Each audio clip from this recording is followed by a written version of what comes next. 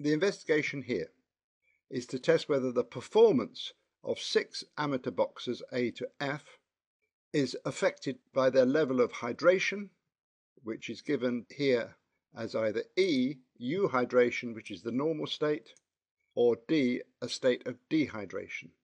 And this performance is measured by recording the number of punches the boxer is able to throw in six simulated rounds. And the six simulated rounds are divided into two bouts. Rounds 1, 2 and 3 are in bout 1 and rounds 4, 5 and 6 are in bout 2. The output variable in this case is punches which is a frequency value but because it is quite a high value we can treat it as a continuous variable and we will choose to test whether the level of hydration has an effect on the number of punches by using an ANOVA. The condition for using an ANOVA is for data that is normally distributed with an equality of variance between levels, and this is tested in a separate video.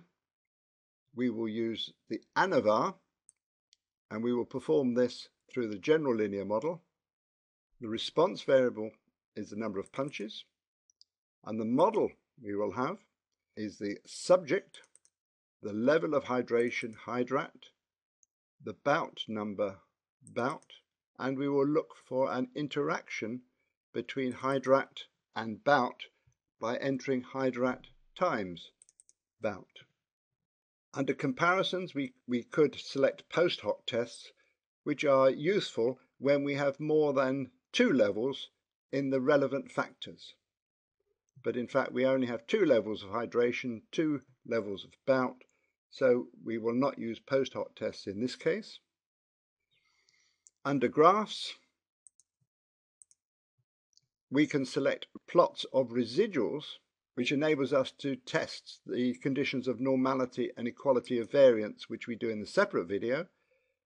But just for interest, in this video, we will select standardized and four in one, where we see four plots in one graph. Okay.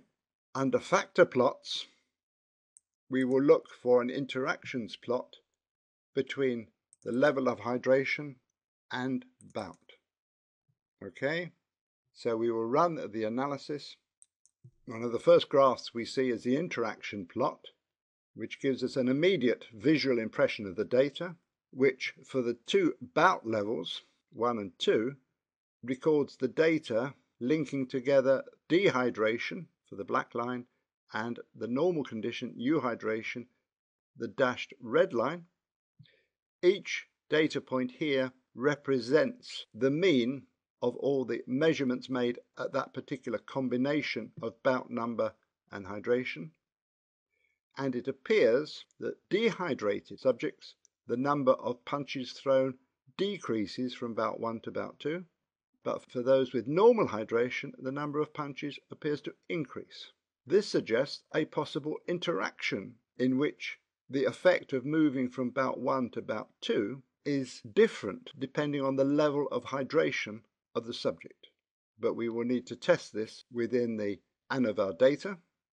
We also see this 4 in 1 plot for the residuals. These plots are considered in more detail in the subsequent video. However, we can see immediately that the residual values closely follow this diagonal line, which represents a normal distribution of data.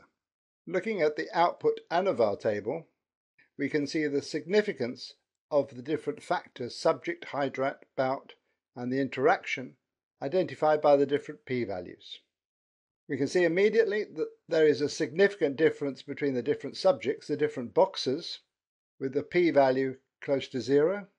Similarly, there is an overall difference between the two levels of hydration given by the near zero p-value.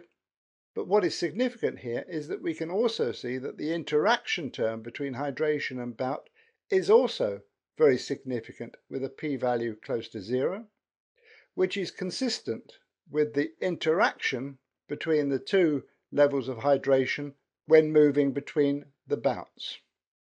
On the face of it, the p-value of 0.151 for the bout factor suggests that bout is not a significant factor in this problem.